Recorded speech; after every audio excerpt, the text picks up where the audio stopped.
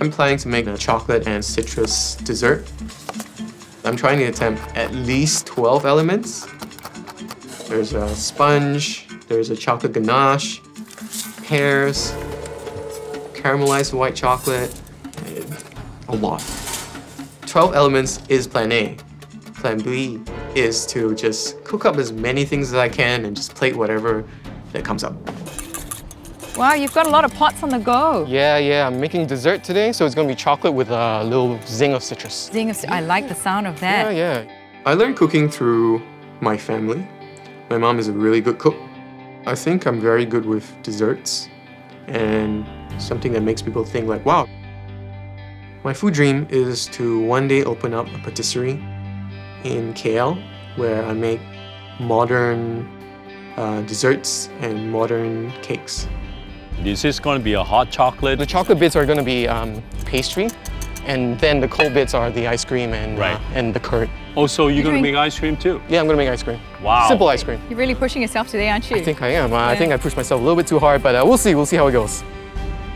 The judges really think I'm pushing it, but that's, that's sort of who I am. Should be okay. I hope. To be in this competition, I'm sacrificing a lot of my time. I want to push myself. I want to, I want to be the best. I want to impress. This here uh, sponge doesn't want to come out, so I'm in a bit of a jiffy. I definitely feel the pressure. The sponge isn't to the proper consistency I want. I'm thinking to myself, I should have done this earlier. 10 minutes ago, I'm definitely pushing it. Marcus, come show us what you've got. In 90 minutes, I'm trying to attempt at least 12 elements, but I knew that was impossible. I couldn't find a calamansi in the pantry earlier. Until the end, I'm still gonna take some calamansi to the judges. I'm gonna give them some theater, just hope that it works. Voila, a bit of theater. I like that. My take on chocolate and a citrus dessert. So I like the zing of the citrus with the sweetness and richness of the chocolate. Before you begin, take the little calamansi, rub it in your hands, fill your nostrils up with the flavors of calamansi and... Marcus, what is your journey about this dish? I'm really much, pretty much a dessert person. And once in a while, I make birthday cakes for friends.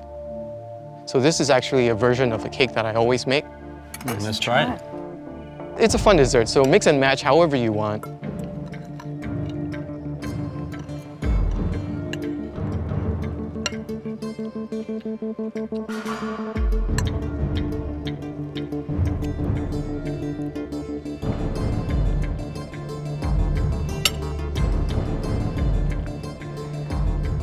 All right, Marcus, you have too many things into your plates. Mm -hmm.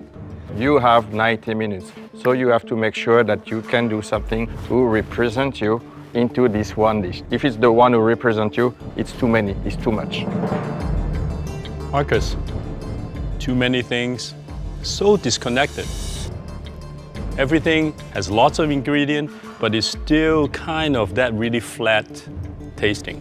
And you're getting lost in the end. You're getting lost? Totally getting lost. I'm coming from family of very famous pastry chef in France. So I know exactly what you try to achieve here. Modern techniques, and especially with this uh, sponge cake, with the espuma, cooking in the microwave. That's what you try to do? Yes, I did. Yeah. This is supposed to be very, like a cloud. It's supposed to be very, very light. And you have a reason why is not the texture is supposed to be or not. Well, ideally, uh, this is a sort of dessert you serve immediately. I can guarantee you. Okay. I can guarantee you. I can make you one. We're gonna stay very, very light. I like to see that.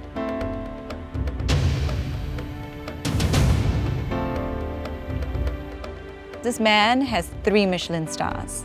And when he tells you that it hasn't been done right, time to listen, yeah? Definitely. Humility will take you a long way in this competition.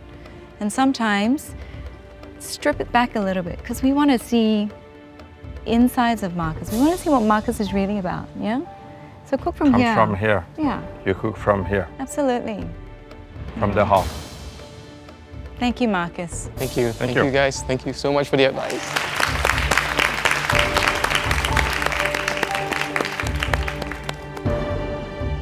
If they didn't like my dish, it's okay. That just gives me a chance to one day come up with a really good dish and just blow them away.